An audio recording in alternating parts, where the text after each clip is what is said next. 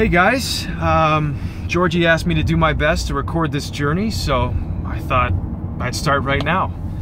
I'm just in the cab here on the way to the airport, and uh, I gotta be honest, I got a lot of um, uh, conflicting feelings, you know. Um,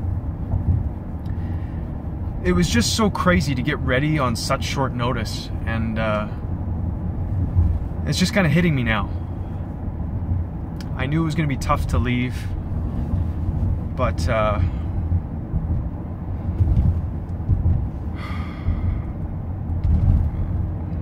I'm really excited about this opportunity to help out. And I'm going to make the most of it. And I know I couldn't do it without you guys. I really appreciate your support. And I love you lots.